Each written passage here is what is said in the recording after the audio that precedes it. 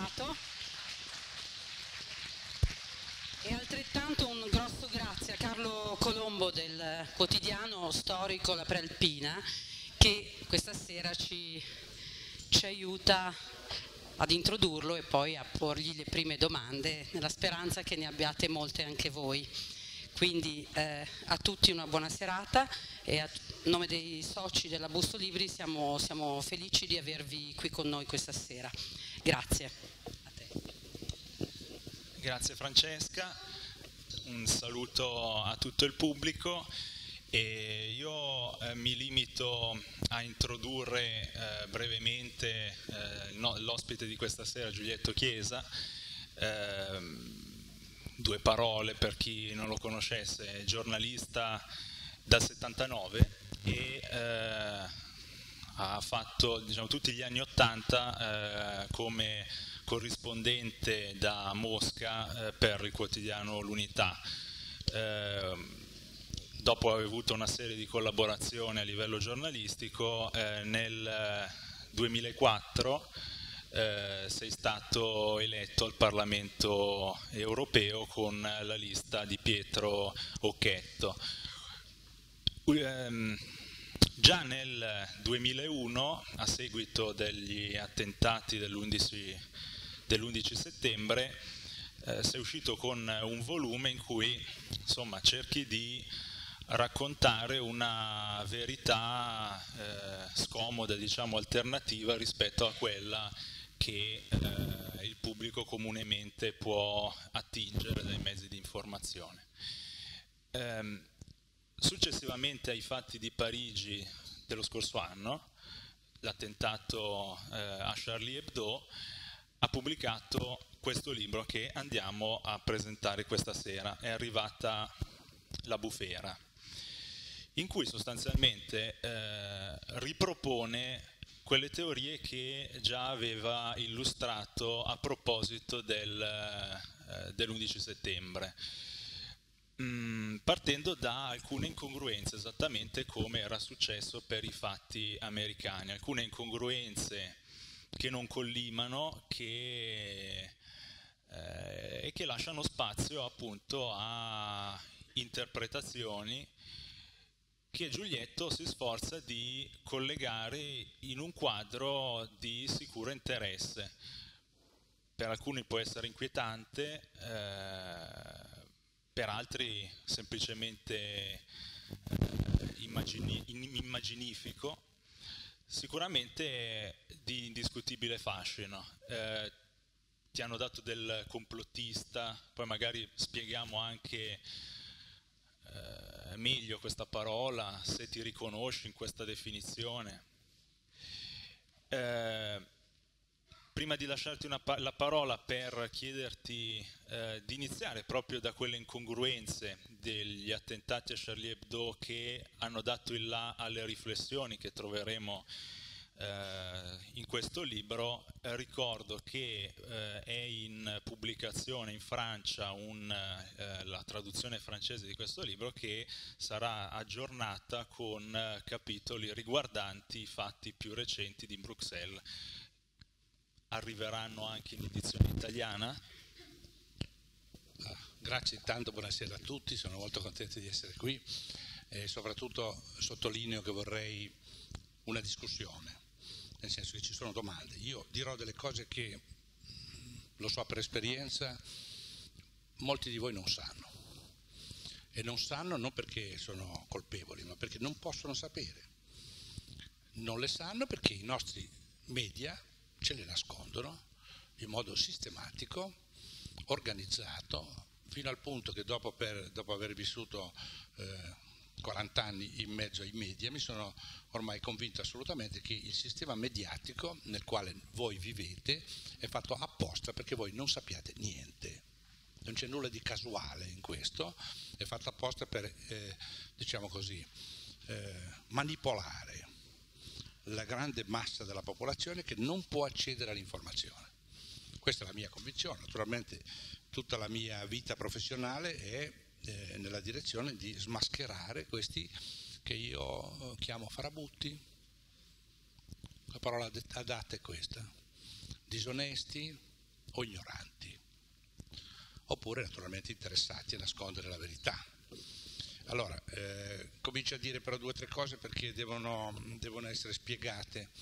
Il libro non è soltanto la parte dei, dei misteri di Parigi, i misteri di Parigi racconto cosa io credo sia accaduto o le domande che vi pongo su ciò che è accaduto, ma in realtà il libro è un libro molto più impegnato, diciamo così. Eh, il titolo è Invece della catastrofe, infatti è uscito per la prima volta col titolo Invece della catastrofe. Chi legge questo libro si rende conto del perché io sono arrivato alle mie conclusioni. Io ho un'ipotesi su quello che sta per accadere, io ho un'ipotesi molto precisa, naturalmente è un'ipotesi perché riguarda il futuro, ma è fortemente motivata. Allora se uno ha voglia di leggersi questo libro, si legga le mie ipotesi, perché io prevedo che la bufera sta arrivando. E so perché sta arrivando. E metto in guardia la gente, state attenti perché voi non sapete che sta arrivando la, la bufera. E quindi vi arriverà addosso. E se non sapete sarà difficile che possiate difendervi. Quindi tutto quello che sta accadendo sta dentro la mia ipotesi. Io ho cominciato con l'11 settembre perché ho capito che ciò che ci raccontavano dell'11 di settembre del 2001 era falso. Ho intuito, ho cominciato a dubitare, non avevo nessuna prova. Mi sono messo a studiare e man mano che studiavo scoprivo che le mie ipotesi erano fondate, e cioè che la versione ufficiale che è stata data del complotto dell'11 settembre, complotto, perché la versione ufficiale è la versione di un complotto. Ci hanno detto che Osama Bin Laden nella sua grotta afghana con l'aiuto di 19 terroristi islamici ha realizzato il più grande attentato mai accaduto nella storia dell'umanità. Pensate un po', complotto. Non sono io che uso la parola complotto, quello è un complotto. Il mio lavoro è consistito essenzialmente, quando dico mio, dico il mio e di centinaia e centinaia, migliaia di analisti come me che in giro per il mondo lo fanno da tempo, quindi siamo in tanti, non sono io solo, matto.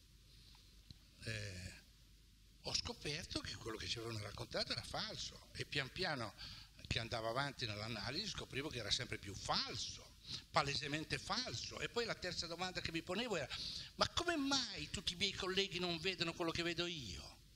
Come si spiega che tutta la stampa tace su questa cosa quando è clamoroso, gridano le cose che noi abbiamo scoperto sull'11 settembre? Ci ho fatto anche un film, zero, indagini sull'11 settembre, che nessun canale televisione, delle televisioni italiane ha mostrato, naturalmente. Ma nessuno sa che questo film lo dico così en passant, è il film che è stato più visto eh, nel mondo negli ultimi vent'anni. 35 milioni di spettatori hanno visto questo film in giro per il mondo, ma gli italiani non l'hanno visto. Hanno visto quelli che hanno comprato il DVD, ma tutti gli altri non l'hanno visto. Mentre 35 milioni in tutta l'area russa, sovietica, ex sovietica, eh, che parla in russo, hanno visto il film. In tutti i canali è andato con un enorme successo di pubblico, tant'è che io sono popolarissimo in Russia, in Kirghisia, in Kazakhstan, in Uzbekistan, in Turkmenia, perché tutti hanno visto il mio film. Guarda che stranezza. Là l'hanno visto tutti, qua nessuno. Perché non è buono, no, è buonissimo, il film è ottimo, soltanto che è stato vietato, ecco. Quindi finisco velocemente questo discorso per dire eh, come mi invitavi a fare sono complottista? Che cos'è? Cosa vuol dire la parola complottista? Un giornalista che si rispetti deve studiare i complotti. Se non studi i complotti non è un giornalista, il potere fa i complotti. A tavola raccontavo, c'è un bellissimo libro di Umberto Eco, non reclamizzo me, reclamizzo lui, defunto, buonanima, grande scrittore. L'ultimo libro che ha pubblicato è titolato Numero Zero Leggetevelo, è un libro interamente dedicato ai complotti del potere, interamente, dalla prima all'ultima riga. Quindi i complotti esistono. In Italia noi siamo, siamo l'ultimo paese che potrebbe stupirsi di questo, che dovrebbe stupirsi. Noi l'abbiamo visto il complotto, un grande complotto in Italia, si chiamava la strategia della tensione. I più giovani non se lo ricordano, ma i più anziani lo sanno. Quando cominciarono a esplodere le bombe in Italia, 1969 a Milano, Piazza Fontana, la strage alla Banca dell'Agricoltura, noi abbiamo visto una lunga striscia di sangue, bombe, bombe. E l'interpretazione che venne data da tutti i mass media fu, furono i rossi, i rossi e gli anarchici. E tutti i giornali ci dissero e tutto il mondo pensò che erano gli anarchici. E poi ci fu, ripeto, una lunga striscia di sangue, la bomba alla stazione di Bologna, la bomba di Brescia, le bombe sull'Italicum, una cosa tremenda.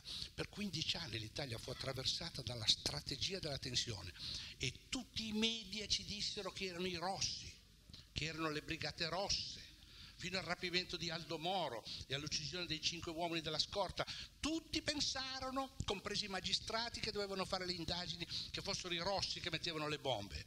Ma adesso noi sappiamo che non era vero. Sappiamo che invece le bombe erano state messe dai servizi segreti italiani deviati e che gli esplosivi che erano stati dati per far saltare quelle bombe, per uccidere gli innocenti, venivano dai campi della Nato, cioè dagli Stati Uniti d'America. Vedete? Quindi noi l'abbiamo già sperimentata questa cosa, la conosciamo a memoria, quelli che hanno un po' di memoria. E quindi quando io vedo questa serie di attentati, la prima cosa che penso è, ma chi li fa? Ma chi li organizza? Perché soprattutto io vedo che tutti i media ci dicono che sono gli islamici cattivi. E io dubito. Prima cosa, dubito. Poi vado a studiare e poi scopro che sì, sicuramente sono in questo caso, come, come, erano del resto le Brigate Rosse, via. Le Brigate Rosse, anche loro erano convinte di fare la rivoluzione. Però poi si scopre che in mezzo alle Brigate Rosse c'erano degli agenti dei servizi segreti americani, c'erano gli agenti dei servizi segreti italiani, deviati. Quindi non basta che ci sia la manodopera che fa l'attentato, non è sufficiente per capire. La manodopera c'è, certo che c'è. È pieno di manodopera pronta a farsi saltare per aria. Se, se riflettiamo due minuti lo capiamo, così entriamo nel merito della questione, poi finisco subito e sentirò le vostre domande. Certo che c'è la manodopera, ma chi l'ha creata la manodopera? Islamica. Noi abbiamo distrutto un paese islamico dall'altra parte del Mediterraneo nel 2011. Noi, noi, i nostri aerei sono andati a distruggere la Libia insieme ai francesi, agli inglesi, con la copertura degli americani. Noi abbiamo creato l'ondata prima. Noi stiamo creando l'ondata numero due della Siria. Noi abbiamo inventato i, i, i, dittatori sanguinari sulla base del quale ci siamo arrogati il diritto di andare a bombardare milioni di persone, islamiche certo, certo islamiche. Io ho fatto per cinque anni il deputato europeo, non è che me ne vergogno perché io non, non, non, non, avevo potere in quanto deputato europeo, ma lo vidi, lo vidi benissimo. La nostra politica verso l'Africa è una politica di rapina e di ingiustizia noi abbiamo creato la miseria, noi abbiamo creato la miseria in quei paesi, senza nessun dubbio, e continuiamo a crearla. Noi abbiamo finanziato i nostri agricoltori perché potessero vendere a 4 lire, distruggendo l'economia degli esportatori del Nord Africa. Allora certo che c'è la manodopera islamica, ma certo che c'è la manodopera islamica. Dobbiamo chiederci com'è nata questa manodopera islamica. Sicuramente anche con il nostro contributo. Quindi, primo, c'è la manodopera, ma io dopo aver studiato la manodopera e aver cercato di capire, guardo bene come stanno le cose.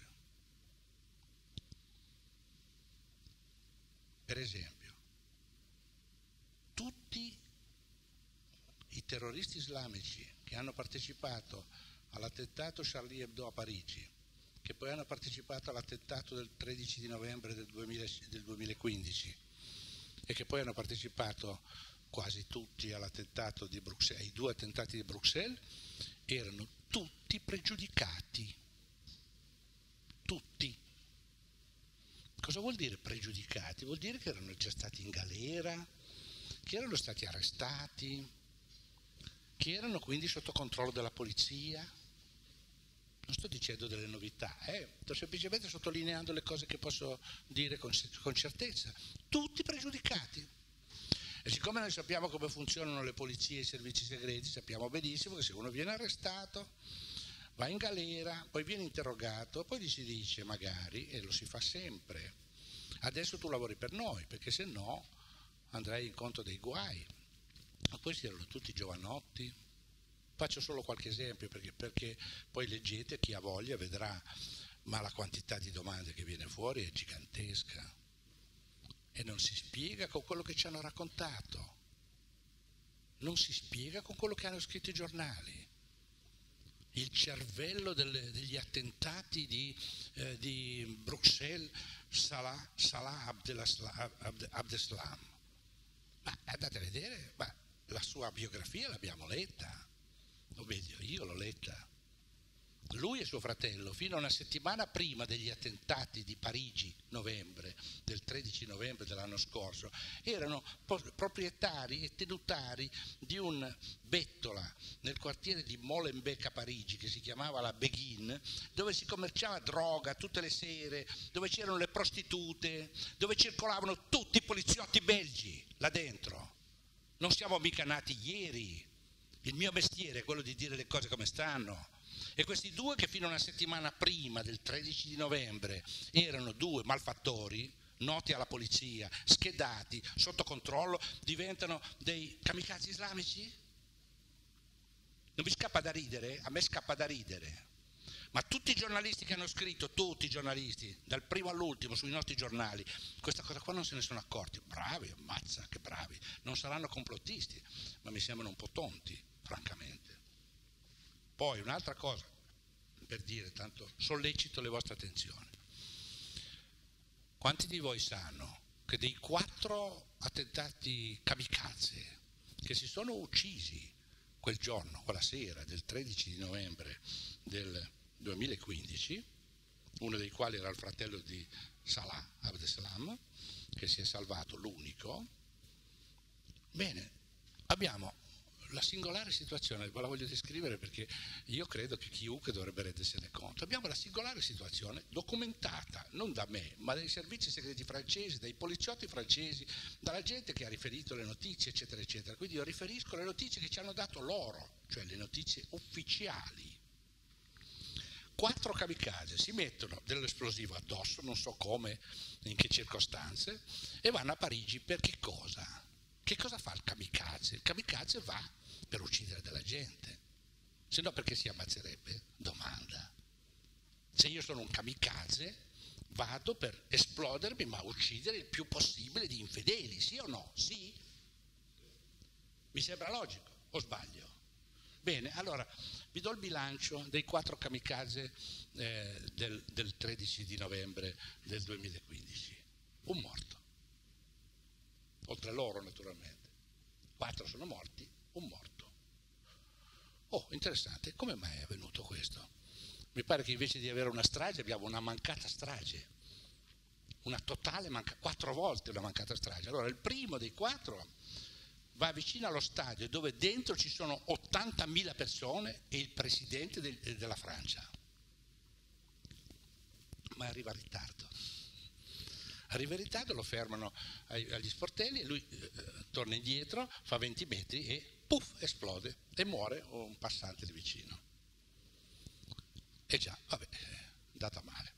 Il secondo, anche lui va allo stadio, anche lui carico evidentemente di, di eh, esplosivo, ma i testimoni che lo vedono da lontano lo vedono esplodere sul marciapiede da solo vicino alla vetrina di un negozio e negozio, la vetrina del negozio non si rompe neppure, muore lui, ma la vetrina rimane incrinata e basta.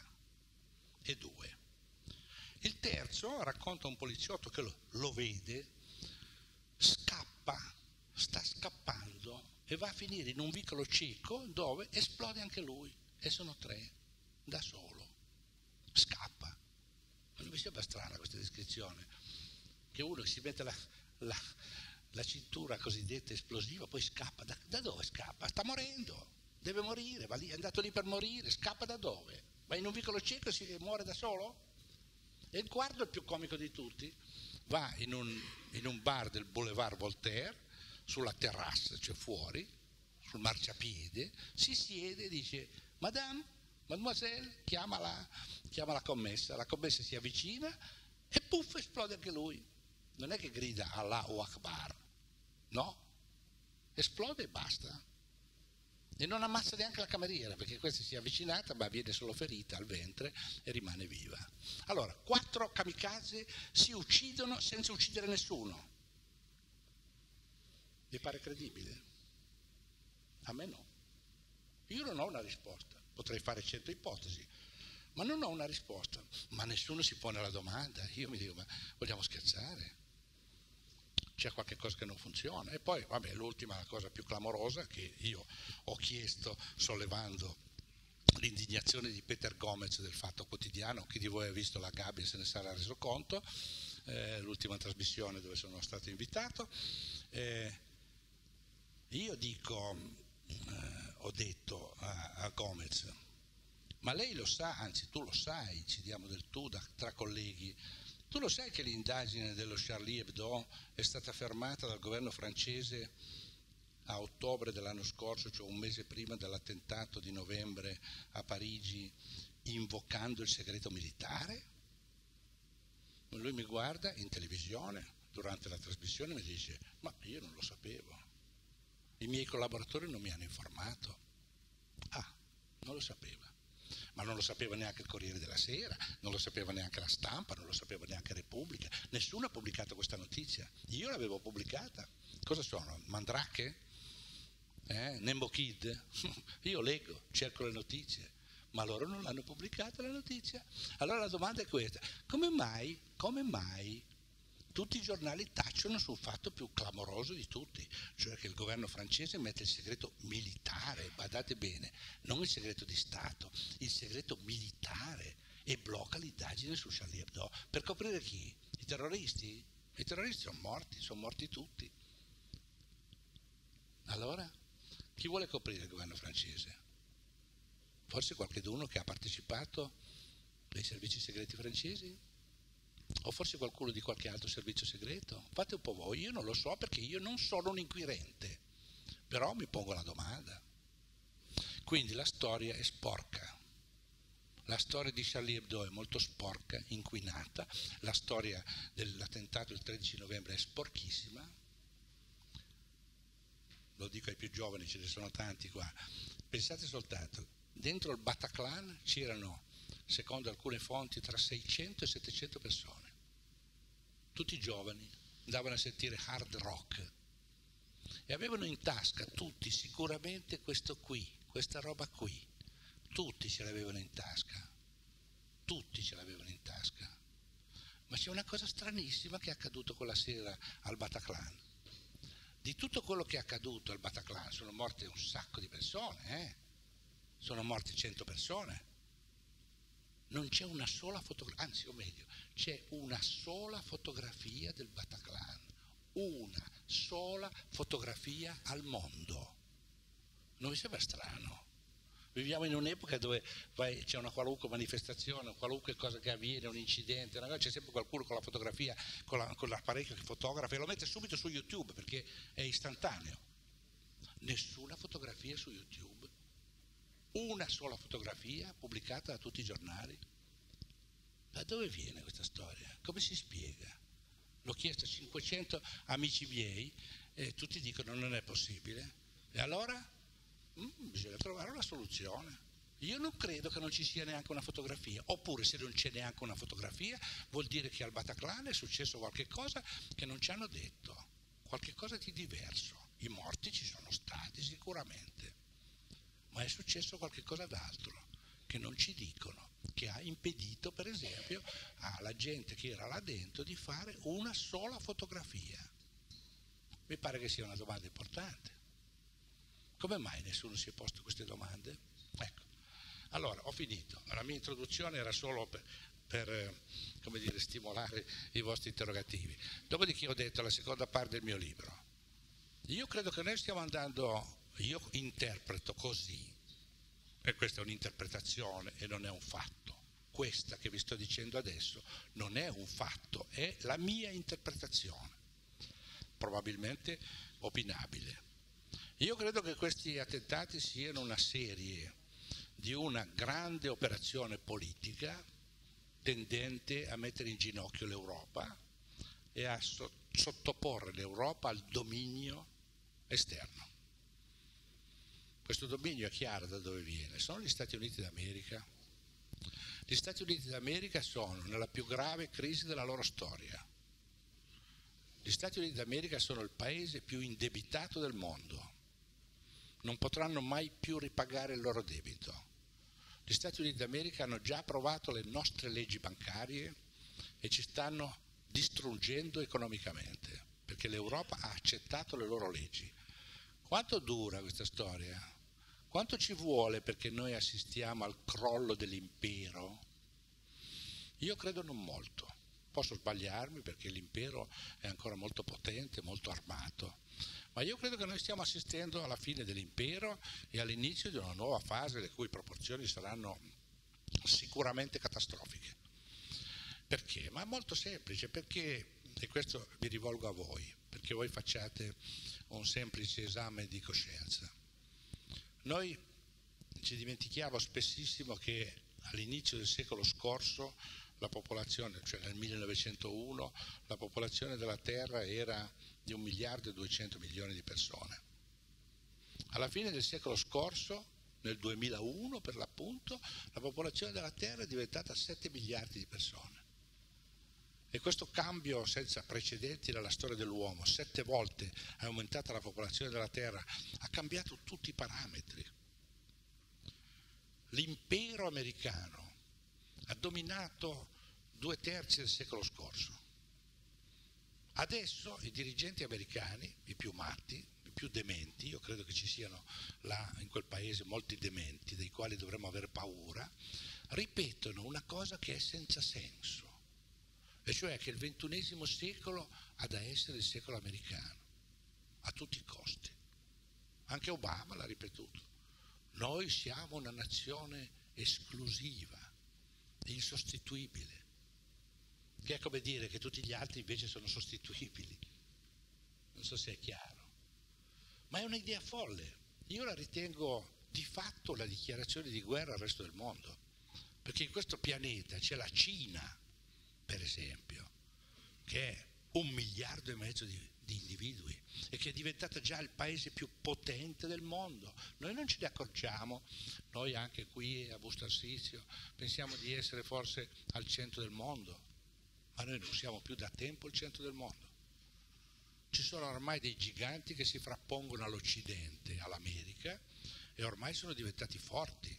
La Cina fra poco sarà la vera grande potenza del pianeta e quindi il ventunesimo secolo sarà il secolo cinese con buona probabilità, non il secolo americano. Ma prima della Cina c'è la Russia, la Russia è l'unico paese al mondo che ha in questo momento il potenziale strategico per distruggere il suo avversario, cioè gli Stati Uniti d'America. E quindi noi dobbiamo stare molto attenti perché il calcolo di fare il ventunesimo secolo americano è un calcolo senza senso è una dichiarazione di guerra al resto del mondo. E quindi noi rischiamo di andare in guerra. Io infatti non lo dico qui apertamente, ma l'ho detto nell'ultimo libro che ho scritto, che vedrete fra poco, si chiamerà Putinfobia. Noi arriveremo e siamo già sull'orla della terza guerra mondiale. Ecco perché la questione della bufera che arriva. Se andiamo avanti così e non capiamo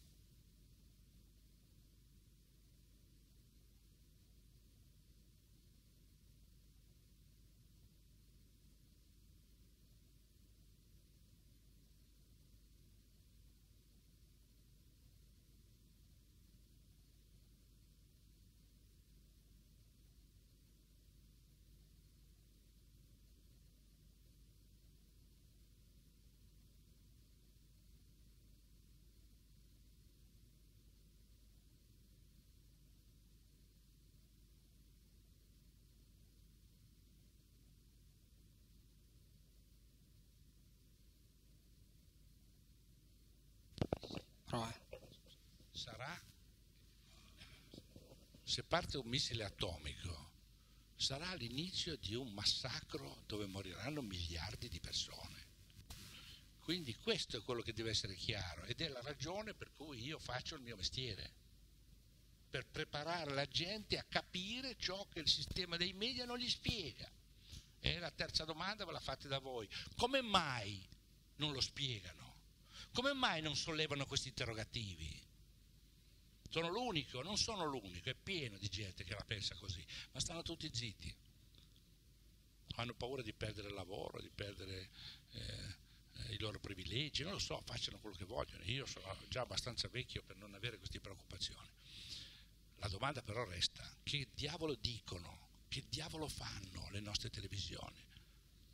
Che cosa sanno 60 milioni di italiani di tutto questo? Niente, niente. Tra l'altro, noi qui siamo qui tutti intellettuali, siete tutti intellettuali, siete venuti a ascoltarmi, vuol dire che siete intellettuali. No, è evidente, ma fuori da qui, quanta gente neanche, non dico sa, non dico che sa, non mi pongo neanche il problema di se sanno, il problema è che non conoscono neppure l'esistenza di questi problemi.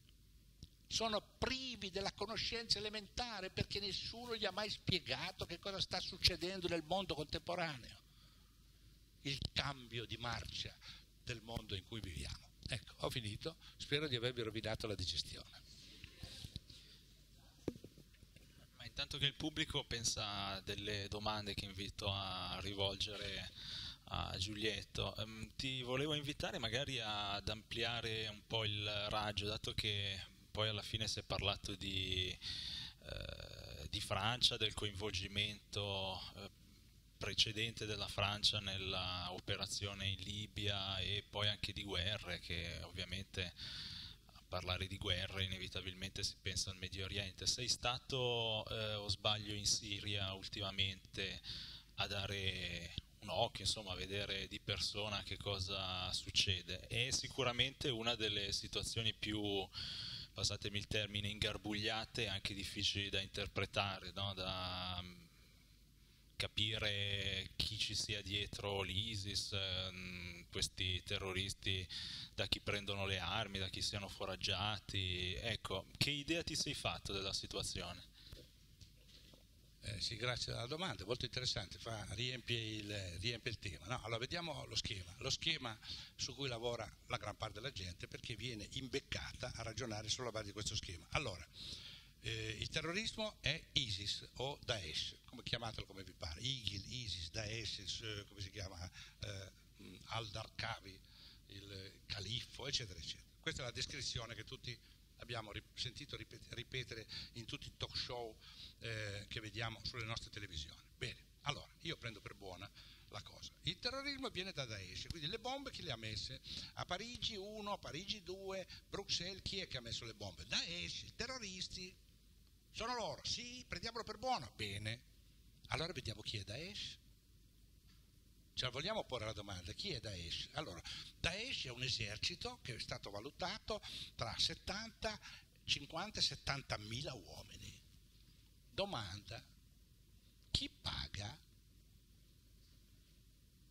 perché per fare un esercito di 70.000 uomini, abbiamo, qualche immagine l'abbiamo vista, le colonne sterminate di questi Toyota con le mitragliatrici pesanti sul, sulla parte posteriore, i carri armati, i blindati, le armi modernissime, i missili che hanno. Oh, per fare questo ci vogliono un sacco di soldi. Bisogna pagarla questa gente qualcuno gli dà lo stipendio, quanto gli danno? Grosso modo si dice 500 euro, 500 dollari al mese, ma sono 70.000. Moltiplicate per 70.000, dategli in mano un mitra e scoprite eh, 70.000 mitra, dategli in mano i cannoni e vedete quanto viene. Vengono centinaia di milioni di dollari al mese. Da dove vengono questi soldi? Ditemi voi. Vengono dalla Russia? Non mi pare, la Russia li ha bombardati li ha fatti fuori tutti quindi non credo. Dalla Cina, nessuno ha detto che è la Cina. Dall'Iran, nessuno ha detto che è l'Iran, sebbene l'Iran ha partecipato dall'altra parte, ma l'Iran era un nemico di loro, quindi non credo che abbia portato l'Iran armi al Daesh. Quindi chi resta? Chi resta? Per spendere queste centinaia di milioni, miliardi, ci vuole un bilancio dello Stato. Il fanatismo islamico non produce queste cifre. Ci vogliono dei grandi capitali. E chi ha questi capitali? Risposta facilissima perché adesso la sappiamo. L'Arabia Saudita, il Qatar, sunniti, tutti, gli uni e gli altri. La Turchia, sunniti. Abbiamo le prove. Sappiamo, tutto quello che sto dicendo è tutto documentato, non è che sto dicendo delle cose che uno dice dove le hai prese, ma le ho lette, le ho lette sulla stampa americana, mica le ho lette sulla stampa cinese. Gli americani hanno pubblicato le notizie che vi sto dando io adesso. L'Arabia Saudita ha armato il Daesh, la Turchia ha armato, finanziato, organizzato. Io sono stato, eh, mi faceva la domanda, sono stato in Siria nella base di Imim, eh, dove, c'erano gli aerei russi. Io sono stato con gli aerei russi, naturalmente, non è che andavo a farmi ammazzare sul campo di combattimento. Eh, sono andato a vedere, però avevo gli occhi aperti e mi hanno fatto vedere delle fotografie che loro hanno, hanno, eh, hanno eh, con i loro droni, hanno scattato le fotografie dall'alto. Mi hanno fatto vedere dei posteggi automobilistici, soltanto questa cosa divertentissima, se non fosse tragica, dei giganteschi posteggi automobilistici al confine tra la Turchia e la Siria. E io dico, ma che cosa sono questi posteggi? Sono una cosa con migliaia di automobili alla, al confine, addirittura li avevano asfaltati, avevano fatto i posteggi asfaltati.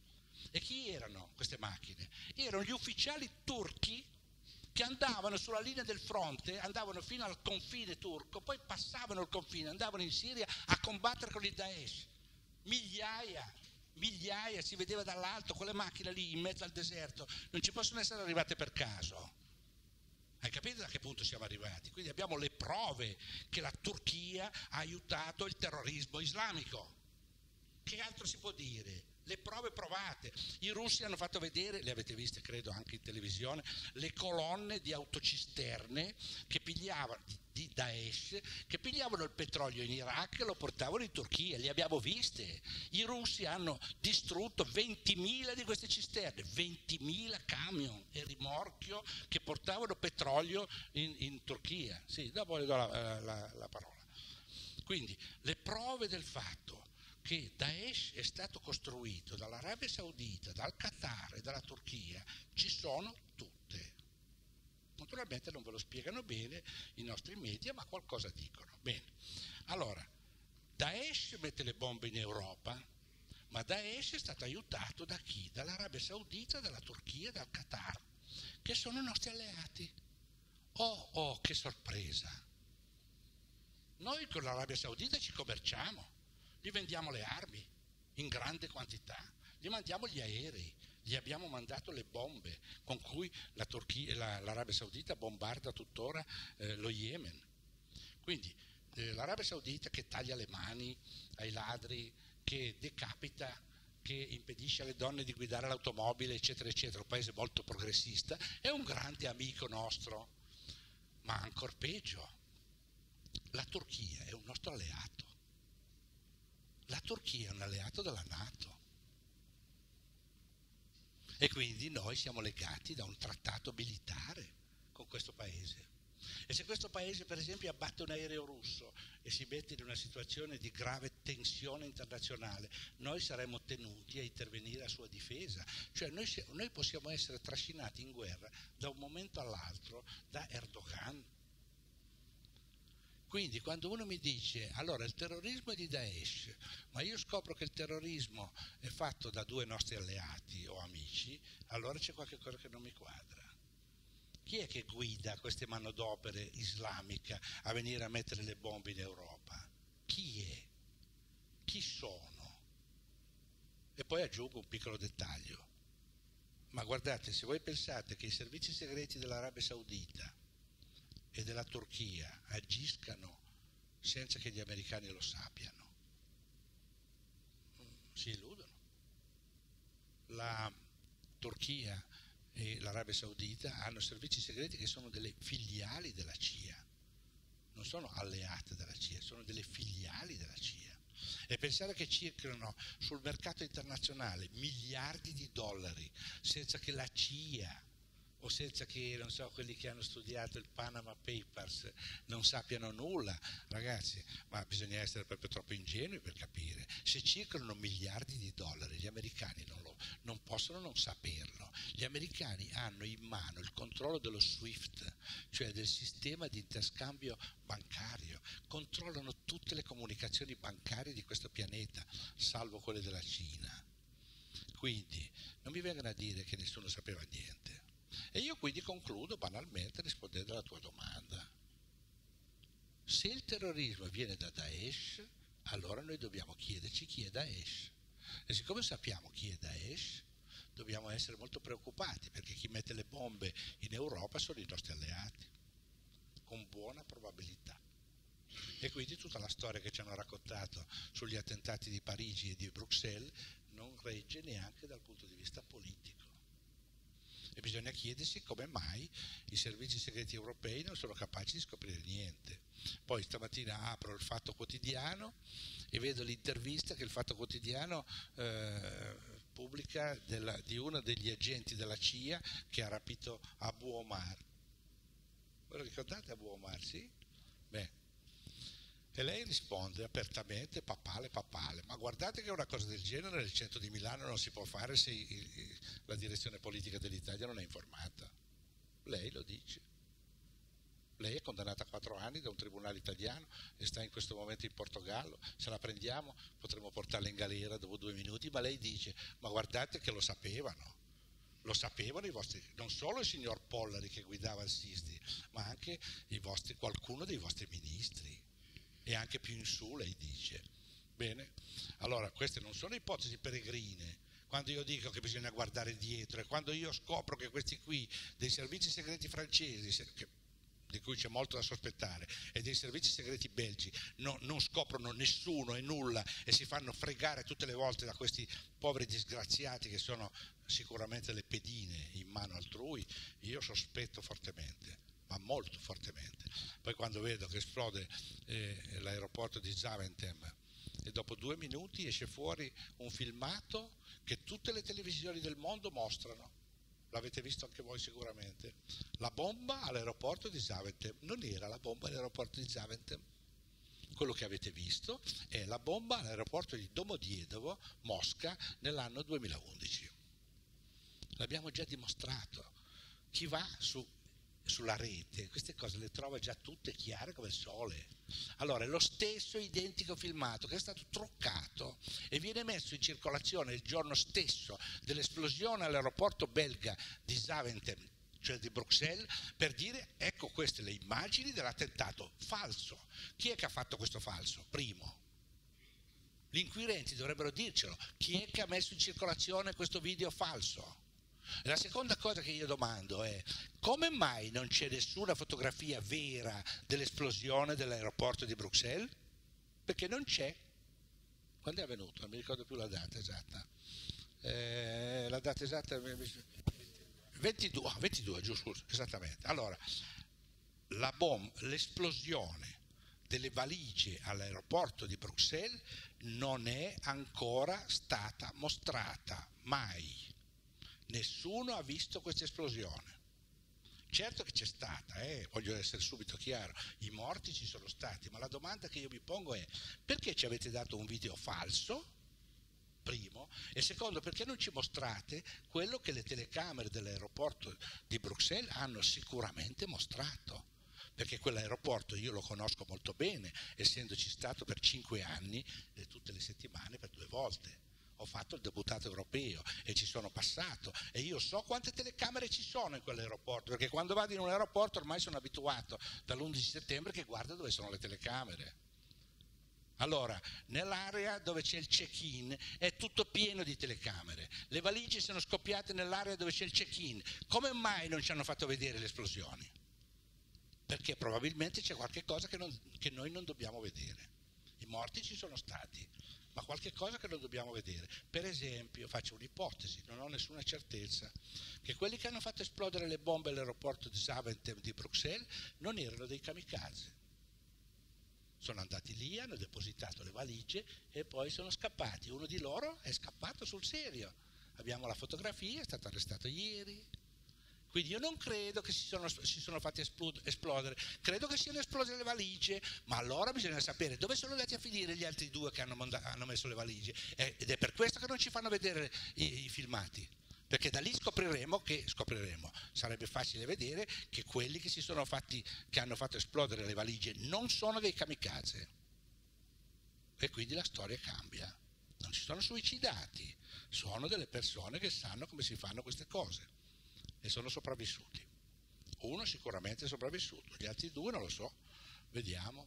Fra un po' probabilmente scopriremo che sono ancora vivi anche loro e così via discorrendo. Insomma, più, più ti ci inserisci in questa storia, più vedi che le cose non stanno in piedi e sono tutte domande. Naturalmente io non ho nessuna affermazione da fare, non lo so come sono andate le cose. Io non ho visto quelle esplosioni, quindi non posso dire. Posso fare le mie ipotesi, ma so per certo che coloro che sanno le cose non le hanno dette. E allora la domanda è perché non le hanno dette? È chiara la mia posizione? Sì, spero che sia chiara. C'era qualche domanda? Sì. Prima... Chi era?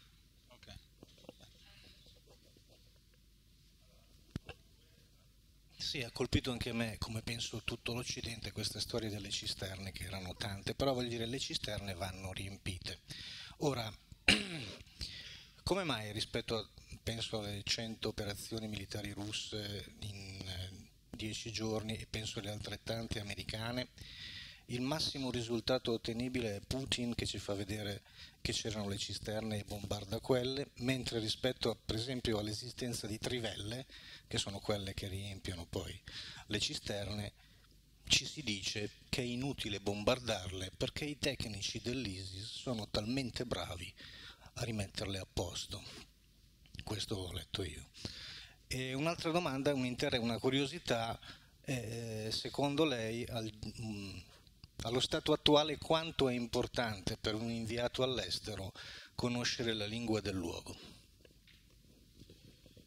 Facciamo un giro di risposta. No, io questo rispondo solo perché è veloce, possiamo rispondere velocemente.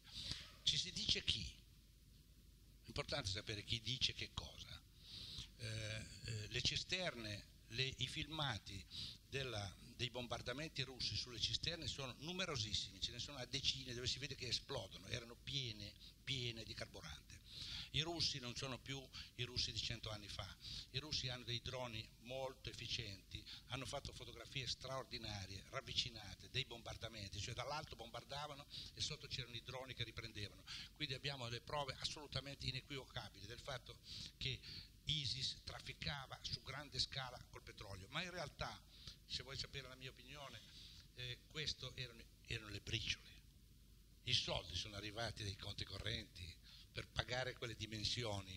Questi soldi qui del petrolio andavano a arricchire qualche commerciante, magari il figlio di Erdogan in Turchia, e i capi delle bande. Ci sono, ci sono, adesso sul territorio siriano e i russi sono lì e li stanno facendo fare la pace uno per uno. Ci sono almeno 70 gruppi armati, ciascuno dei quali è una banda, con un capo e i vicecapi. Quelli servivano, il petrolio serviva a far arricchire questi, quei soldi andavano a finire sui loro conti in Svizzera, eccetera, eccetera. La corruzione che noi abbiamo in Italia su scala industriale, voi volete che non ce l'abbiano anche loro, ma è ovvio ma il grosso del pagamento dell'esercito del Daesh è avvenuto attraverso i conti correnti bancari dell'Arabia Saudita e del Qatar nelle banche occidentali che servivano per comprare le armi. Abbiamo anche le prove, tra l'altro Pandora TV che io dirigo ha mostrato le prove documentali del fatto che il Qatar comprava armi in Romania e in Ucraina e le trasferiva direttamente ai ribelli del Daesh Abbiamo le prove, abbiamo pubblicato le prove, i documenti, cioè il Qatar usava i suoi soldi per comprare le armi e poi le dava, le dava ai, ai, ribelli, quindi il petrolio è di, di, fatto, certo sono svariati miliardi, ma io ritengo che per questa operazione che dura da 5 anni ormai eh, l'Arabia Saudita abbia speso più di 2, 3, 4, 5 miliardi di dollari come minimo, come minimo, probabilmente di più. Quindi questa è la, la, mia risposta. Poi per quanto riguarda la domanda sul corrispondente estero, eh, domanda tragica. Noi mandiamo in giro giornalisti che normalmente non sanno la lingua dove vanno a lavorare. Ma quanti sono quelli che vanno là e sanno parlare arabo? Eh? Io, io, stesso sono stato lì in qualche misura embedded, sono stato lì sei giorni, ma se volevo capire qualche cosa e parlare con la gente avevo bisogno di un interprete. E come si fa a capire una cosa del genere? Io sono stato vent'anni corrispondente estero, dico soltanto questo per me.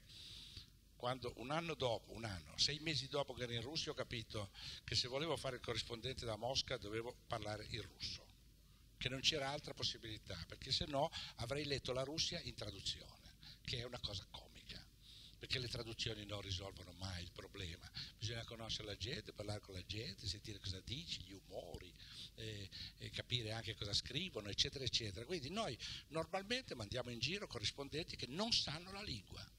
E quindi, e quindi dicono delle cose per sentito dire, è evidente, questo è scontato, purtroppo è così.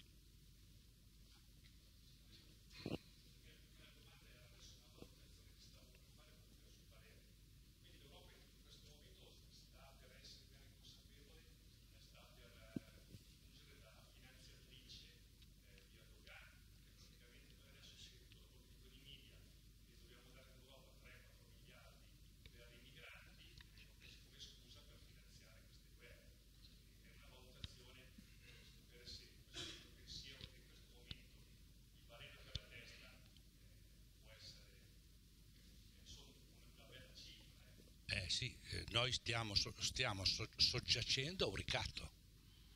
Il signor, guardate, la dinamica, fino a un certo momento le, le grandi ondate dei, dei profughi passavano attraverso il mare e come sappiamo annegavano in grande quantità, perché attraversare il mare è difficile.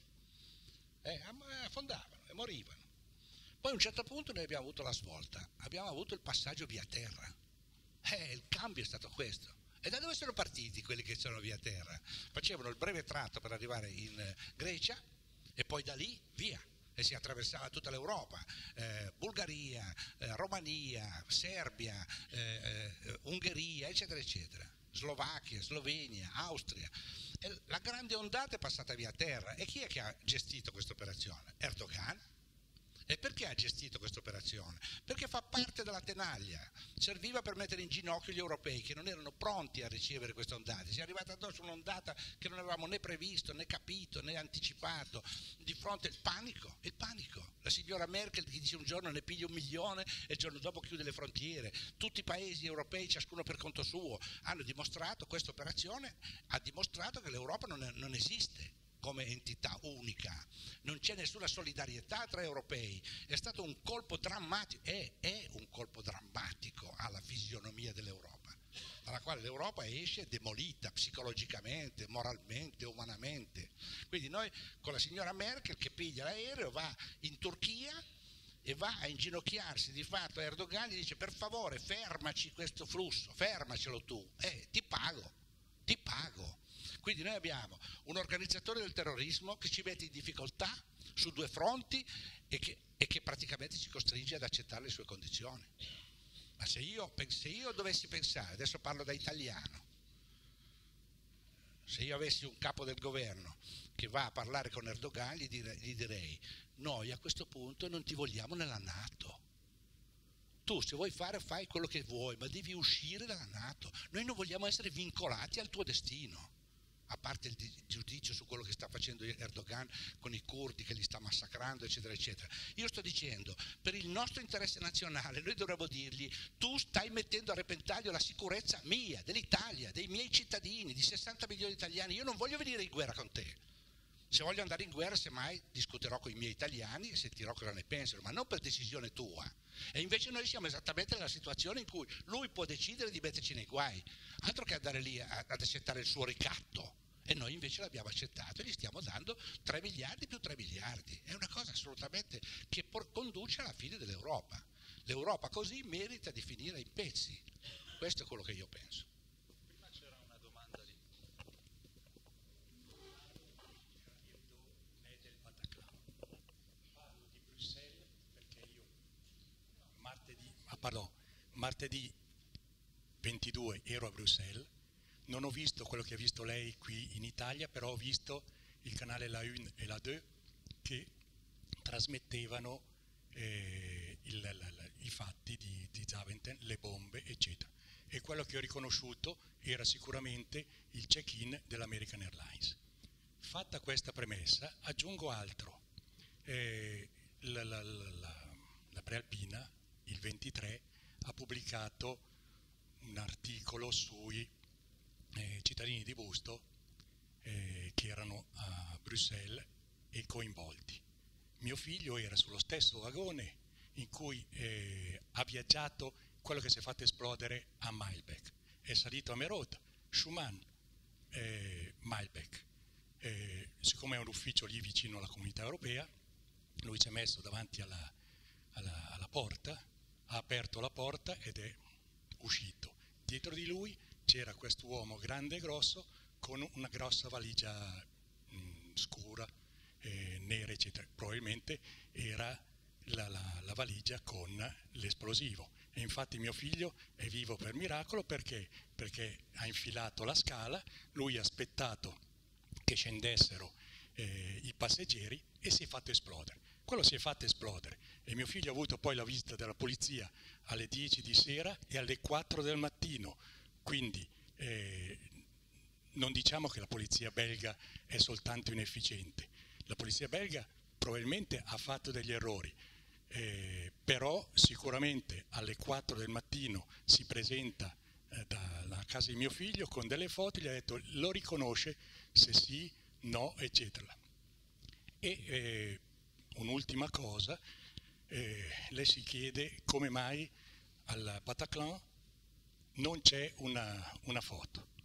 Mio figlio nel, nello scendere ha perso la borsa, aveva computer eccetera, si è trovato con il cellulare e la foto che c'è 23, al 23 di, eh, di, di, di, marzo sulla prealpina, nel riquadro orizzontale a, a, destra, a tutta destra c'è mio figlio. L'unica cosa che ha avuto in mano era il cellulare, per fortuna, perché così ha potuto comunicare con la moglie e con me che ero a, a Bruxelles per dire io sto bene. Ecco, questo mh, mm, cioè, l, l, per dire che eh, lei ha fatto certe affermazioni, affermazioni anche gravi, che io posso anche eh, non condividere, però eh, sul, sul, discorso di Zaventem le dice ma non hanno fatto vedere quello che, che dicevano le telecamere. Io ho visto, nel senso che sulla UIN del, in, orari, in, quelle ore, dalle 8 e un quarto fino alle 9.10, 9 e un quarto, hanno trasmesso tutto quello che stava succedendo a Zaventem. L'ultima cosa che mi stavo dimenticando, eh, mio figlio, cioè, il, quando lei dice non c'è nessuna, eh, nessuna foto, e ci credo, quando uno vede l'esplosione, sente le urla, eccetera, la prima cosa che fa è quella di scappare, non di mettersi a fotografare. Grazie.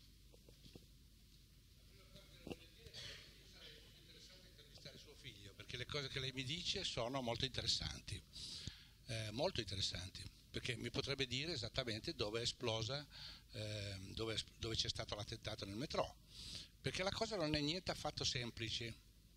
Non ci sono foto del vagone che è stato esploso, salvo una, io perlomeno l'ho trovata, io ho cercato molto su internet, se ci sono queste cose sarebbero facilmente ritrovabili. E invece io ho trovato soltanto una foto di un vagone sventrato che però ha una caratteristica che è molto strana, infatti io non ho ancora scritto di questo perché voglio accertare. E voi sapete che quando andate sulla metropolitana milanese o romana c'è sempre una voce che dice eh, la gente deve stare lontana dalla linea gialla quando arrivano i, eh, i, i, vagoni della metropolitana. Ebbene, nella foto che io ho visto, perché me l'hanno mandata in questo caso dal Belgio, si vede una linea vicino al vagone che è stato esploso e che è stato presentato dalla polizia come il vagone saltato per aria, c'è una linea rossa. Allora io mi sono fatto mandare le fotografie della stazione di Balbec e della stazione Schumann. L'esplosione sarebbe avvenuta tra le due stazioni, sì? Bene, Su, eh, dovrebbe essere avvenuta tra la stazione Balbec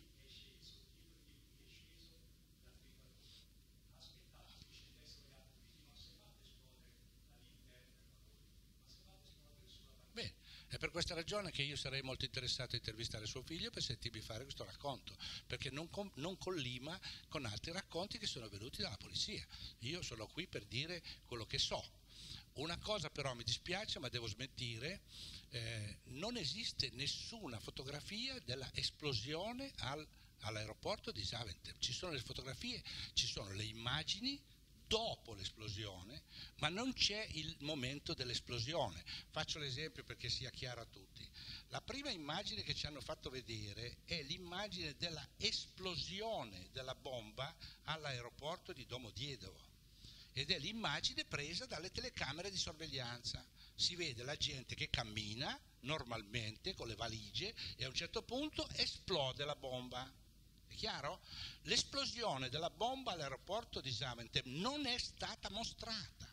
Cioè, abbiamo visto molti filmati della gente che scappa, della gente che ha paura, della polvere, eccetera, eccetera. L'esplosione non l'abbiamo vista. Lei dice che le televisioni belghe l'hanno data.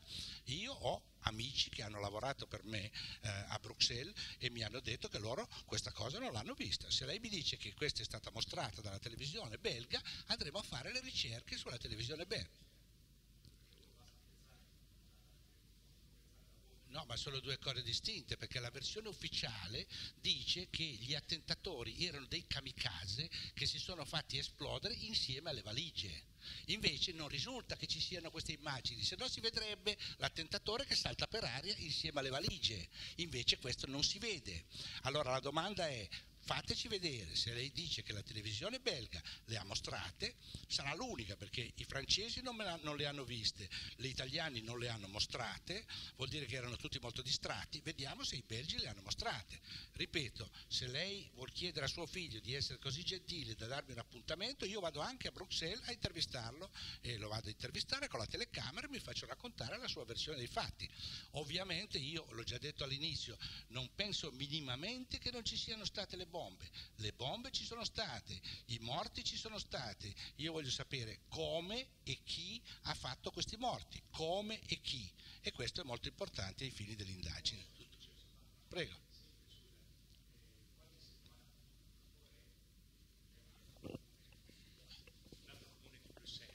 C'era stato un, cioè c'era stato un, un intervento della polizia eh, dove in un controllo che doveva essere di routine, si sono trovati davanti a gente con il mitra che hanno cominciato a sparare e loro hanno, hanno sparato.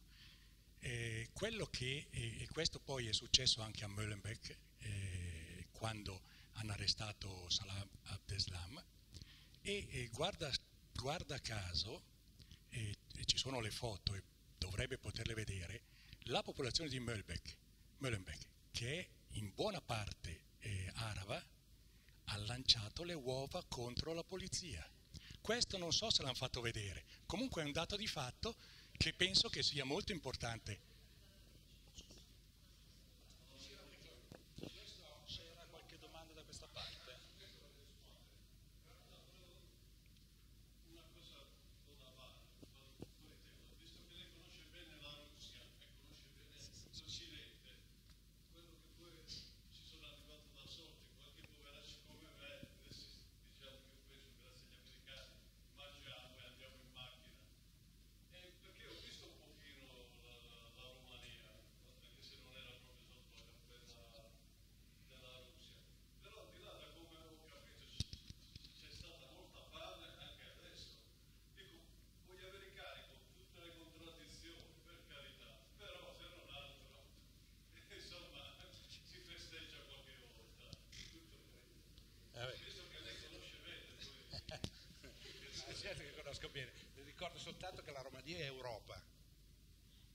25 anni la Romania è Europa, non, come, non facciamo confusione.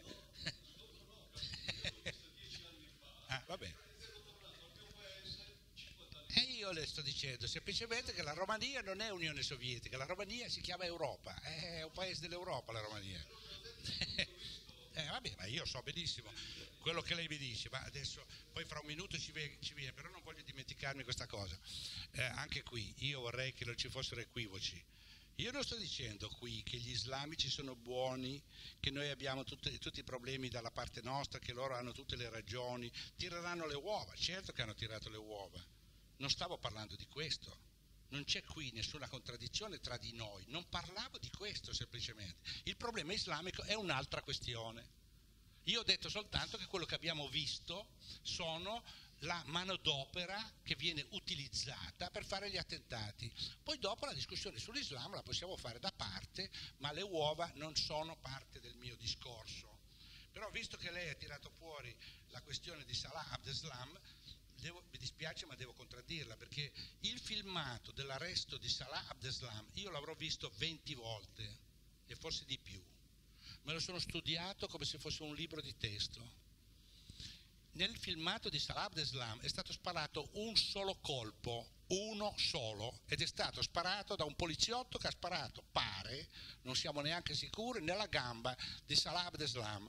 Quindi non c'è stata nessuna sparatoria, Ah, vabbè, no, vabbè, allora, io, io sto invece dicendo, io sto parlando delle cose di cui ho parlato fino ad ora, delle versioni che non stanno in piedi della fonte, allora, delle fonti ufficiali. Allora, ho visto questo filmato, l'ho visto e non, non, eh, siccome un po' di televisione me ne capisco, un pochino, eh, non riesco a capire niente, perché si sentono in pieno giorno, i poliziotti hanno circondato la, sta, la casa, è pieno di poliziotti così, il megafono dice vieni fuori a mano alzate perché siamo qui, ti stiamo aspettando. Lui sta zitto per un po', poi senza aprire bocca apre la porta e si mette a scappare sulla strada nell'unica direzione che gli è stata lasciata libera perché c'era un marciapiede tutto sgombro.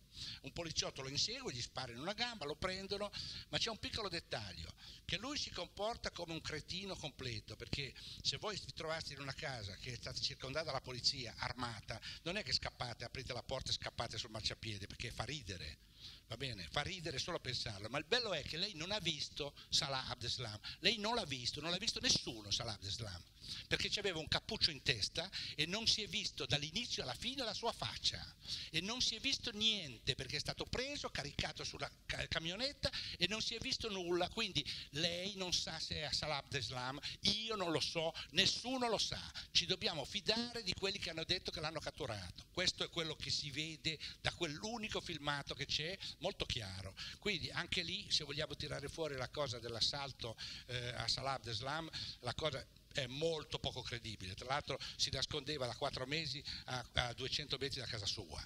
Eh, il, il, più ricercato, il cervello di tutti gli attentati si nasconde a 200 metri da casa sua. Mi, mi sembra anche questo francamente molto poco credibile. Rispondo alla domanda su, sugli americani. Grazie agli americani. Eh, io dico questo io la Russia la conosco bene. In Russia non c'è nessuna fame, la società russa è una società molto più evoluta e colta della nostra.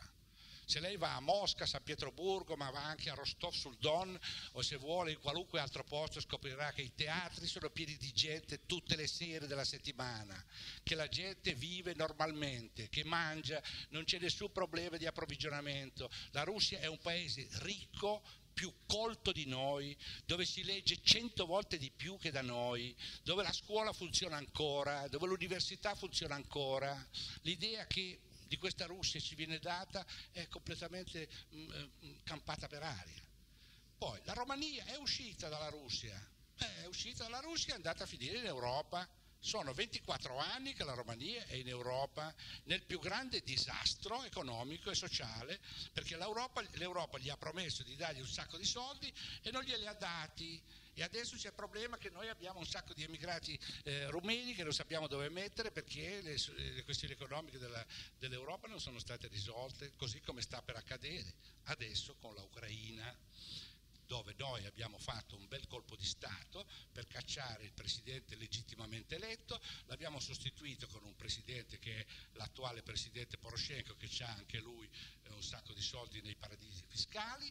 E lo vogliamo far venire in Europa, ma gli olandesi, questa è la descrizione cruda, gli olandesi hanno votato l'altro ieri, non li vogliono gli ucraini secondo me fanno molto bene e se ci, ci, facessero votare anche noi dovremmo dire che neanche noi vogliamo questo paese in Europa perché sarebbe un bel guaio per l'Europa, per esempio.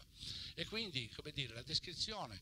Poi lei dice, l'America ci ha dato da mangiare, ma io penso che noi ci siamo dati da mangiare da soli Noi abbiamo avuto il miracolo economico, abbiamo avuto uno straordinario sviluppo, non credo che dobbiamo ringraziare gli Stati Uniti d'America per quello che siamo oggi.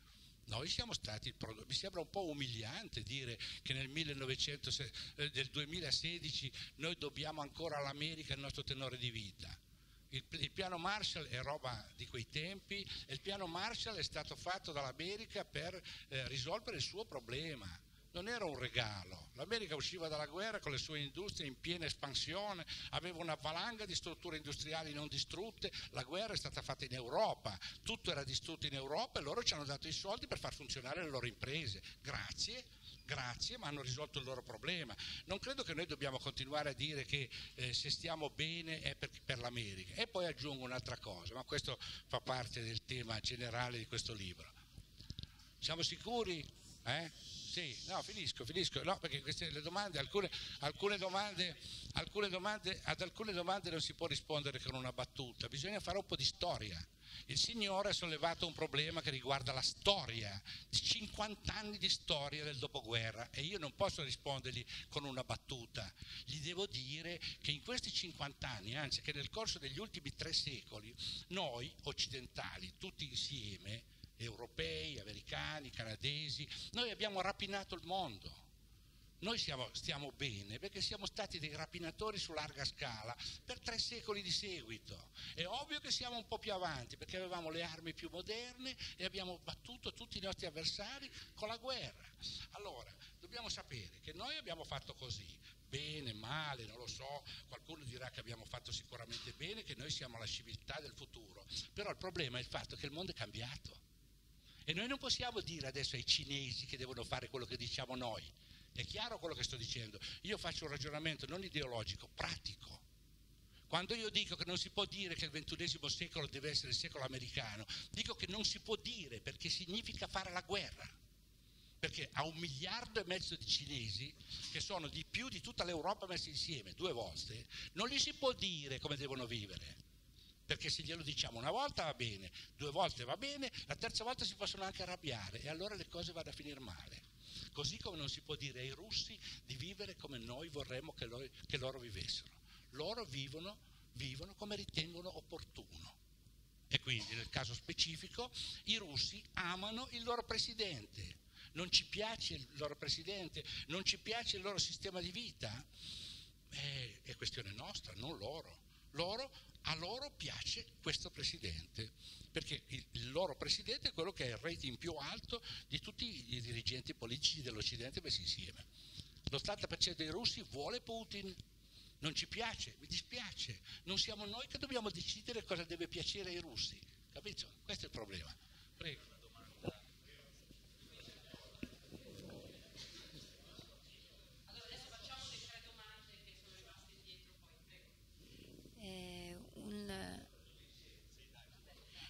Un suo collega Antonio Ferrari, che è esperto di Medio Oriente del Corriere della Sera, sostiene che la Cina abbia un ruolo molto importante nel finanziamento dell'ISIS, cioè che, che, Cina, sì, che Cina, e Arabia Saudita siano i, i finanziatori dell'ISIS. Volevo sapere cosa ne pensa.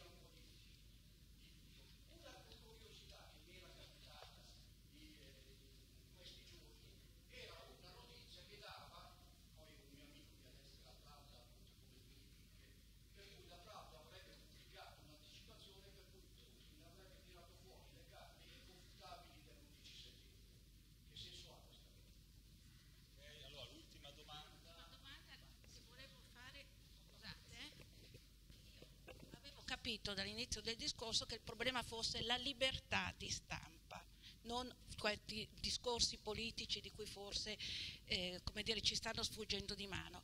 Allora mi pare che lei sia stato nel sindacato della RAI Nosigrai.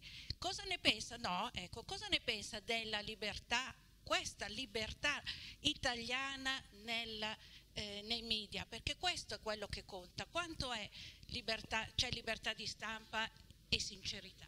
Riusciamo a fare l'ultima domanda? Brevissima, solo per curiosità personale, visto tutto quello che ha detto, volevo sapere se lei ancora era e fa parte dell'ordine dei giornalisti, io non sono giornalista, no? però visto che è depositario della verità, allora io volevo sapere gli altri cosa fanno.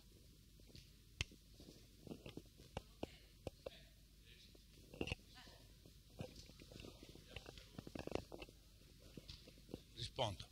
Allora, grazie per le domande, ma mi dispiace, devo contraddirle. Io non ho mai detto che sono il depositario della verità. L'ho detto? Qualcuno ha sentito dire che io sono il depositario della verità? No. Io faccio delle domande. No. Eh, rispondo, rispondo. Io sono ancora iscritto all'ordine dei giornalisti per ragioni di carattere professionale, perché se uno non è iscritto eh, deve poi mettersi in discussione con eh, il sistema pensionistico, con il sistema dell'assistenza sanitaria, eccetera, eccetera. Io eh, per gli anni che vivo vorrei più o meno mantenere un tenore di vita accettabile, anche perché tutti i miei soldi li, li spendo per fare una televisione che si chiama Pandora TV, che la sto sostenendo io con i miei soldi, quindi è bene... Eh? Eh, io ho un'opinione molto bassa della grande massa dei miei colleghi. Bene? Eh, beh, io, se lei mi chiede, lei mi chiede la, mia, la mia opinione, le dico che ho un'opinione bassa di molti giornalisti, perché quando io leggo le ricostruzioni degli attentati di Parigi, non solo italiani, eh, intendiamoci bene.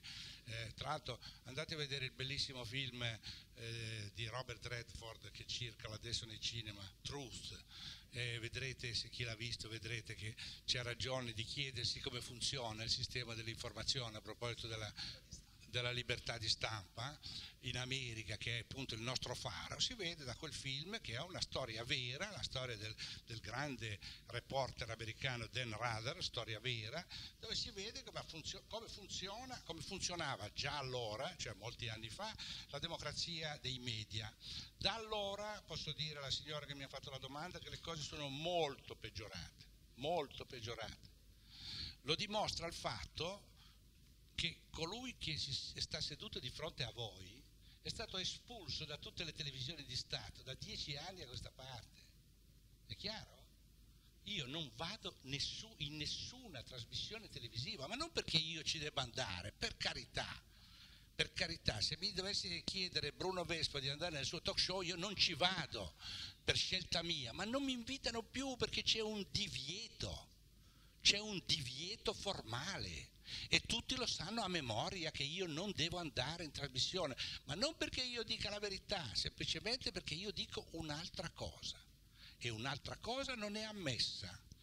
Salvo sulla 7, ma mi invitano sulla 7 non per amore della verità, ma perché io produco audience mi invitano per questa ragione, non credete che lo fanno per gentilezza, sanno che quando io vado in televisione si aumenta, aumenta il rating e allora gli fa gioco e siccome loro giocano sul mio nome, io gioco sul loro nome. E è una partita dove, eh, come dire, si tratta di vedere alla fine chi ci guadagna di più. Io le posso dire una cosa, ve lo dico a tutti, io ho un blog sulla pagina Facebook che vale mezzo milione di persone al giorno, io sono più popolare in Italia che non la gabbia di Paragone, perché Paragone non ha 500.000 persone eh, ogni suo spettacolo, io ce li ho tutti i giorni 500.000 persone che leggono quello che io scrivo, quindi io sono da me, utilizzando uno strumento orribile che è quello del social network, che mi fa un po' schifo, mi fa un po' schifo usarlo, ma lo uso perché lo uso politicamente, faccio politica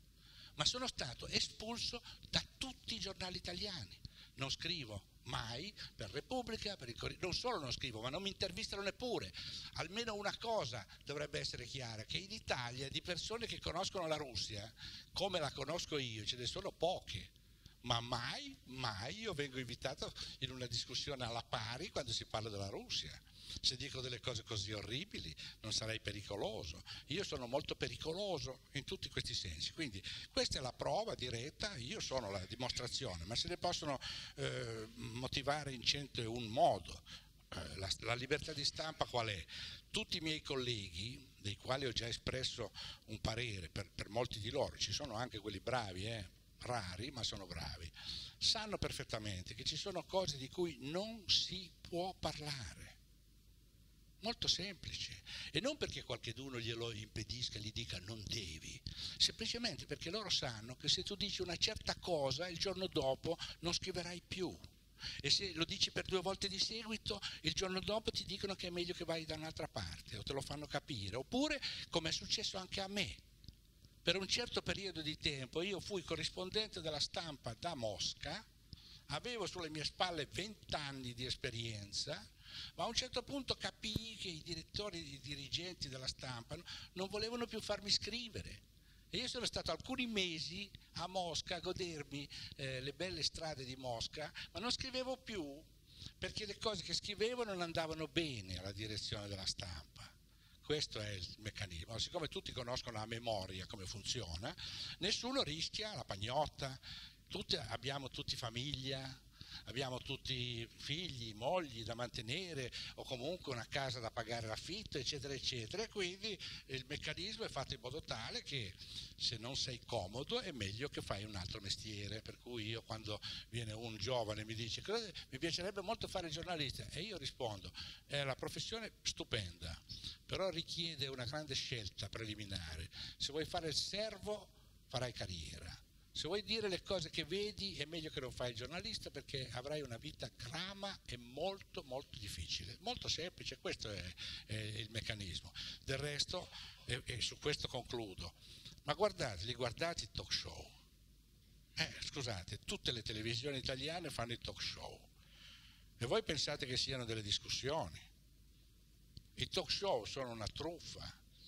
Ogni talk show è una truffa perché sono preparati in anticipo, perché hanno due protagonisti, il conduttore e il regista, che fanno lo spettacolo. E voi avete l'impressione di trovarvi di fronte a una discussione, in realtà metà della discussione è già stato deciso prima. Tu ci vieni e tu non ci vieni.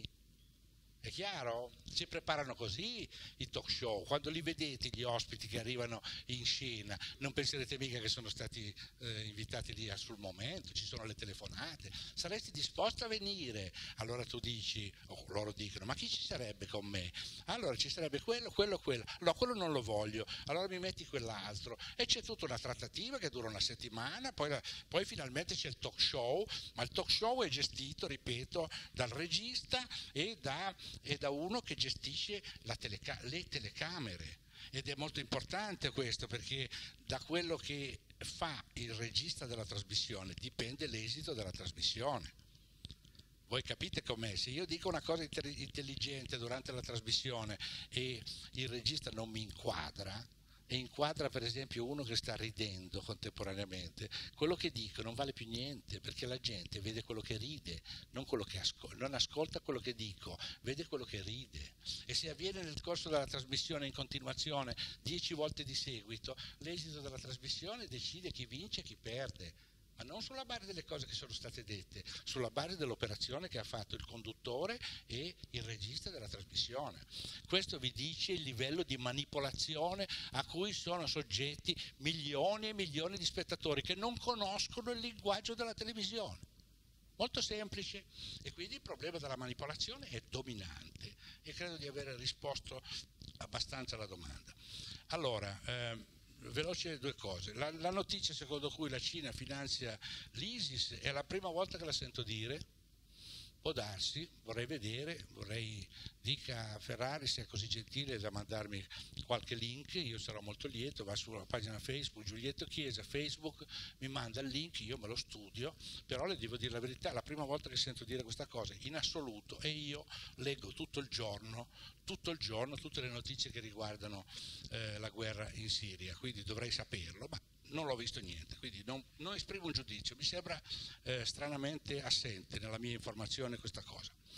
Due, eh, eh, in internet c'è di tutto, è molto vero, bisogna stare molto attenti, c'è ancora un sacco di gente che ritiene che internet sia il luogo dell'informazione, eh, non è più così, non è più così perché internet è pesantemente inquinato da tutti i servizi segreti che agiscono in modo sistematico e eh, che diffondono notizie mezze vere, mezze false, interamente false, parzialmente false, per eh, diciamo così, disorientare il pubblico è diventato uno degli strumenti più importanti che hanno a disposizione perché oramai internet è una cosa che conta e siccome su internet ci vanno milioni di persone che non hanno la minima capacità di distinguere tra ciò che è verificato e ciò che non è verificato, io lo posso dire per esperienza, ricevo mediamente dalle 20 alle 30 lettere al giorno. Eh, quasi tutti mi chiedono se io certifico la validità di una notizia. Secondo, guardi questo filmato, è attendibile, oppure legga questa cosa, mi dice un parere se non l'ha vista, è molto utile, io leggo, leggo un sacco di roba, io impiego due o tre ore al giorno solo per questo e molto scopro e molte cose interessanti mi vengono date e le pubblico su Pandora TV, eccetera, ma la gran parte non hanno strumenti per, per misurare la realtà della vita e leggono cose che sono o palesemente false o parzialmente false, che è la cosa più frequente e la cosa più insidiosa, perché uno dice sembra credibile e poi non è credibile per niente.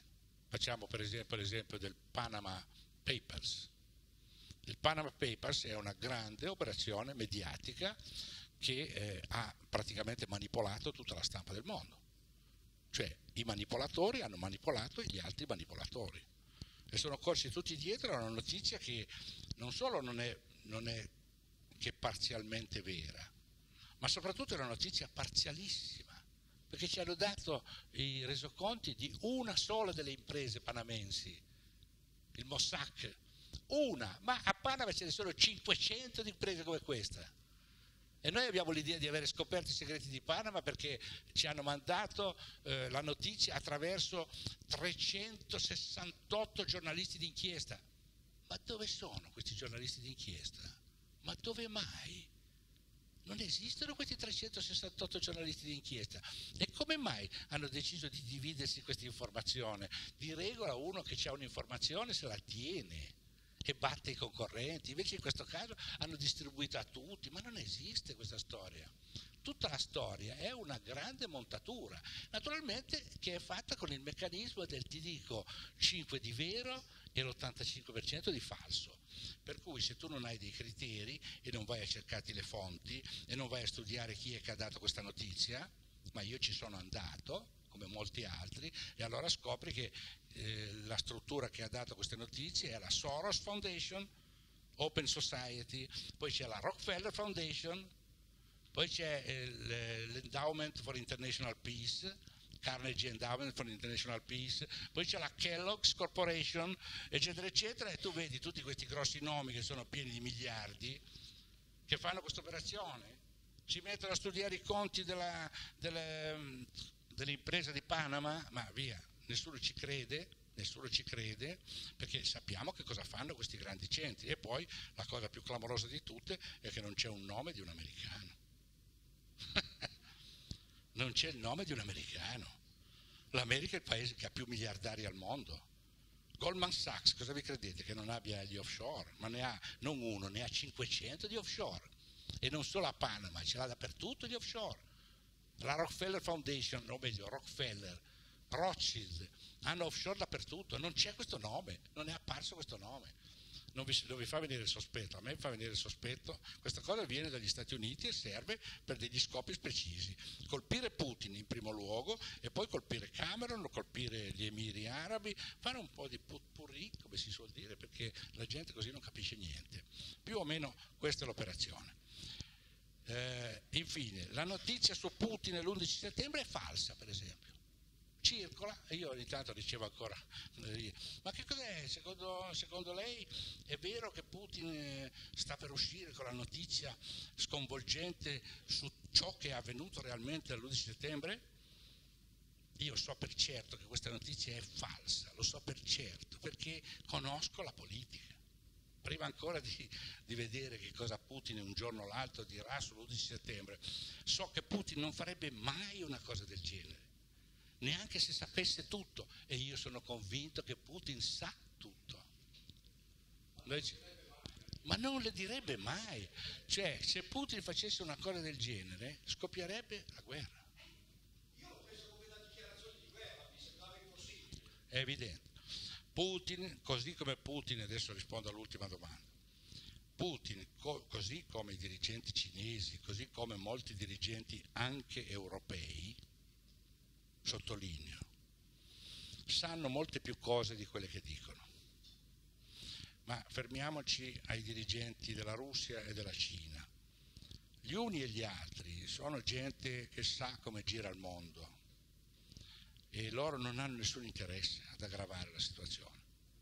Putin è già, è già abbastanza sotto tiro, lo è, io lo so che lo è, è in grande, in grande difficoltà perché la Russia sta subendo le sanzioni, ha già perduto un sacco di soldi, ha già diciamo così, ridotto le sue riserve finanziarie, monetarie soprattutto, quindi la situazione della Russia sta diventando difficile. La Russia è sotto, è sotto sanzioni pesanti è sotto attacco politico, sa di essere perfettamente, lo sa perfettamente Putin, di essere nel mirino degli Stati Uniti, e l'ho già detto perché, perché la Russia è l'unico paese al mondo in questo momento, in questo momento, che dispone del potenziale strategico nucleare per rispondere all'offensiva eventuale degli Stati Uniti. Non ce n'è altri.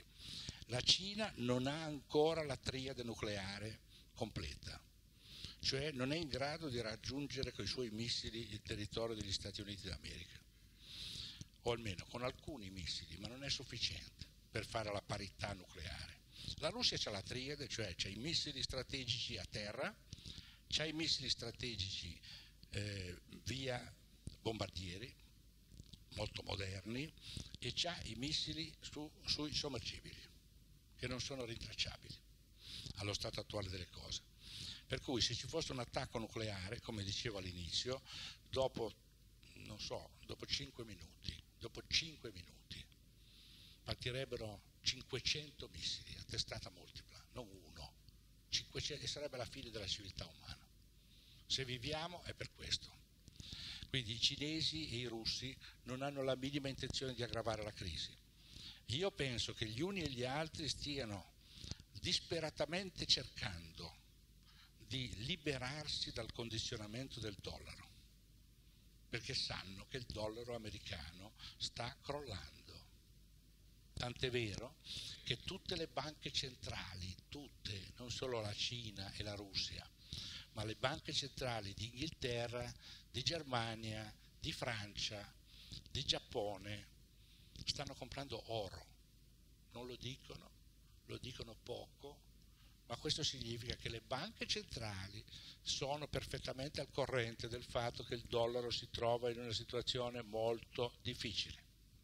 Il prezzo dell'oro è tenuto basso artificialmente dagli Stati Uniti d'America, perché se no la gente capirebbe che cresce troppo e quindi comprerebbe oro e non comprerebbe i certificati di credito del tesoro degli Stati Uniti d'America.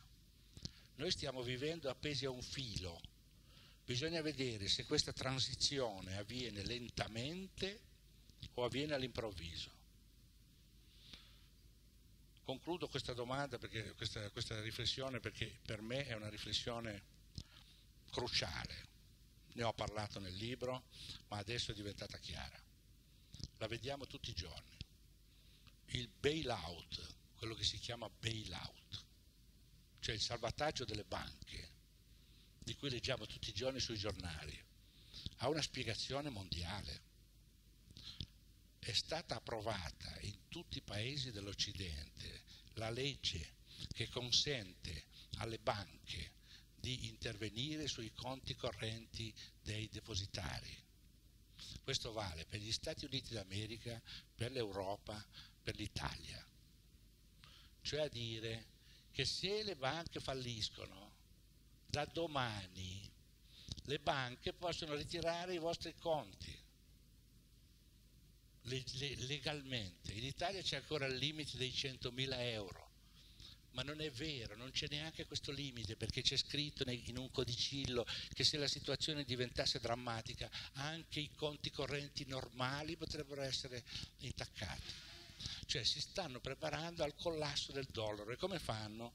Fanno crollare le azioni delle banche e delle borse Ogni volta che leggete la borsa di Milano è scesa, ha perduto 30 miliardi, che soldi stanno bruciando? I vostri soldi, i nostri soldi. Lo stanno facendo lentamente, in attesa di evitare che succeda ad un colpo solo. E quindi il prezzo dell'oro è tenuto artificialmente basso e per questa ragione tutti comprano oro, in silenzio però, in silenzio, perché se no non c'è più acquisto dei certificati di credito americani. Quindi tutti stanno in attesa, gli investitori co- comprano i dollari perché pensano che i dollari sono l'ultima difesa e non si rendono conto in gran parte che il dollaro sta crollando. Perché, un solo esempio, così finisco in bellezza, se la Russia sta portando, la Russia sta insieme alla Cina, la Russia sta portando a termine, anche grazie alle sanzioni che noi stiamo imponendo alla Russia, un grande accordo con la Cina. Ci sono tre oleodotti e gasdotti russi che stanno andando verso la Cina. Sono in costruzione. Fra due o tre anni, tre anni al massimo, questi gasdotti saranno, e oleodotti saranno finiti. E da quel momento Cina e Russia scambieranno energia e beni di consumo in yuan e in rubli. I conti dicono che se questa operazione va in porto, il dollaro perderà 18 trilioni ogni anno di interscambio, cioè sarà un colpo drammatico al dollaro, perché Cina e Russia faranno a meno del dollaro e quindi diventeranno indipendenti dal dollaro. Quindi vorrei che fosse chiaro che tutto quello che sto dicendo sta dentro un ragionamento generale. Noi siamo di fronte a una crisi irreversibile. Questo non lo, non lo avverte nessuno, ma ci sono 101 ragioni per dirlo eh, noi siamo arrivati finalmente all'epoca in cui le risorse del pianeta non, non sono sufficienti per tutti. Questa è la vera questione. Noi tutti ci siamo dimenticati che esiste un principio della fisica che dice una cosa molto importante, che dovremmo ricordarci e se non ce lo ricordiamo sarà peggio per noi. In un sistema finito di risorse uno sviluppo infinito è impossibile. Noi viviamo sulla Terra, la Terra è un sistema finito di risorse. Non c'è niente di infinito sulla Terra. Il petrolio non è infinito, il gas non è infinito, visto che andiamo a votare sulle trivellazioni. Il carbone non è infinito, l'uranio non è infinito, l'oro non è infinito, l'argento non è infinito, non c'è niente di infinito su questa terra. Ma noi abbiamo un sistema economico e sociale che prevede la crescita infinita. Guarda un po', tra le due cose c'è una contraddizione inesorabile a un, punto, a un certo punto, e noi siamo esattamente in questo punto, apparirà evidente che non ce ne sarà per tutti, o meglio, ce ne sarà per i più forti, per i più armati, per quelli che sono in grado di andarsi a prendere ciò che gli serve con la forza. Penso all'acqua, eh? non sto pensando al petrolio, penso all'acqua. Questa ci serve perché noi siamo per l'80% fatti di acqua. Allora, siamo qui quanti ve lo, ve lo, dicono questo a proposito della libertà di stampa? Ve lo raccontano i giornali questo? Sì, c'è il riscaldamento climatico, ma non si capisce che cos'è il riscaldamento climatico. La gente pensa che la, la terra diventerà calda come l'arrosto. Non è così. Non è così. Noi stiamo producendo ogni giorno qualche miliardo di tonnellate di anidride carbonica, per esempio. Miliardi di tonnellate. E se continuiamo a produrre anidride carbonica a miliardi di tonnellate, la temperatura della Terra per forza di cosa aumenterà? E se aumenta non è detto che la Terra sarà più calda, potremo avere una seconda glaciazione perché si scioglieranno i ghiacciai, per esempio. E i ghiacciai che stanno appoggiati sulla Terra andranno a finire in mare e tutto, e tutto l'Antartico si scioglierà, così come la Groenlandia si sta già sciogliendo. E quindi l'idea di uno sviluppo infinito non solo è impossibile perché le risorse non sono infinite, ma è impossibile perché noi se continuiamo così distruggeremo l'equilibrio dell'ecosistema lo stiamo già distruggendo da più di 40 anni e non ce lo dice nessuno. Quindi noi siamo, e finisco, siamo su un terminale della storia. Da questo momento in avanti dovremmo cominciare a ragionare nei termini di, la metto semplice, dovremmo renderci conto di questo e cominciare a pensare quale energia del futuro, non più quella non rinnovabile, non ci sta più, non possiamo andare avanti così, bisogna che cominciamo un programma radicale di trasformazione dell'intero sistema industriale dell'Occidente verso le energie rinnovabili. Secondo, le risorse sono definite, quindi bisogna dividerle equamente, il che significa che bisogna fare un patto tra tutti i paesi del mondo. Nessuno può vincere, dobbiamo metterci d'accordo. E questa è un'altra ipotesi del mondo. Una è l'ipotesi di dire il mondo siamo noi, gli altri crepino tutti perché noi li distruggeremo con la nostra forza. Se va bene, eh, perché quando gli altri cominciano ad essere forti potrebbero essere loro a distruggere noi e questa è una strada senza prospettiva. Oppure metterci d'accordo per un nuovo progetto di vivere e convivenza umana. Questo è un progetto. Se noi ci mettessimo tutti d'accordo su questo potremmo dare una spinta anche al nostro governo. Innanzitutto vi suggerisco di andare a votare il 17 contro le trivellazioni, perché è l'ultimo segno della follia. Petrolio, petrolio, petrolio a scapito della pulizia del nostro mare, delle possibilità di andare a fare il bagno, di pescare pesci, eccetera, eccetera. Andiamo a votare per fermarli perché questi ci bucheranno tutto il mare intorno all'Italia. Adesso hanno già cominciato a fare le prospezioni per tirare fuori il petrolio anche dall'Adriatico, e non solo dall'Adriatico, anche dal Mar Tirreno. Quindi siamo di fronte alla follia. Noi siamo governati dai matti, dai dementi. Dobbiamo cercare di evitare di dargli tanto peso così intanto ringraziarla.